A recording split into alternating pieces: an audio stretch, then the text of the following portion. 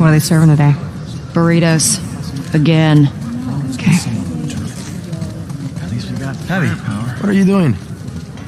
Hey, tenemos prisa, dame tres burritos. Hey man, there's a line. Manny, what the fuck? Excuse me. Wait your turn like the rest of Sorry. us. We're going to the front. Come on. So embarrassing. Why do you have three? Hey, what's up, guys, and welcome back to the Science Kitchen. Today, we're going to be recreating the burrito from The Last of Us Part 2. So, let's get started.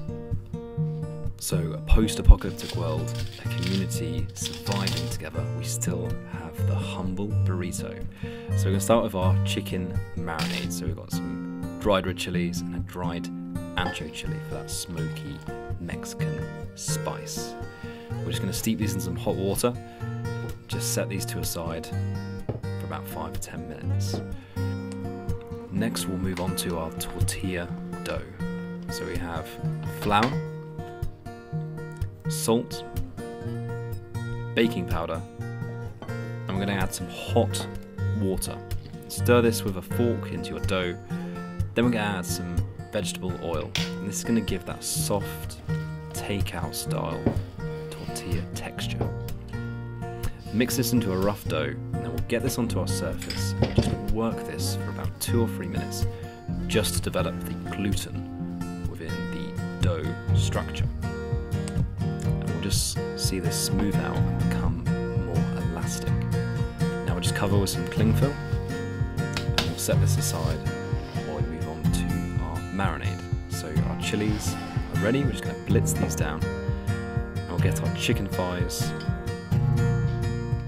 into that chili mixture. Preferably So we'll just take our marinated chicken thighs get this straight into a smoking hot pan. So we just want this to beautifully blacken and really level up that smoky charred flavour. Now just place these into the oven to finish off and we'll prepare our tortilla dough. So take a dough, or this one will split into about six. Now burritos are a perfect option for feeding a group of people as you can prepare a lot of the elements in advance.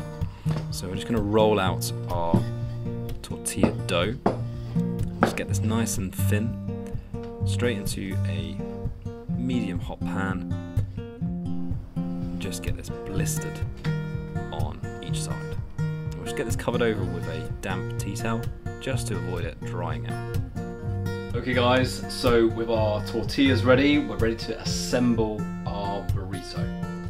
Okay, so we have our tortillas, we have some cooked rice, some beans, some avocado, and some manchego cheese. We're just going to season our rice with some lime zest, juice, and some chopped coriander. This makes our lime coriander rice. Just going to reheat our tortilla with grating of manchego cheese just to melt this down.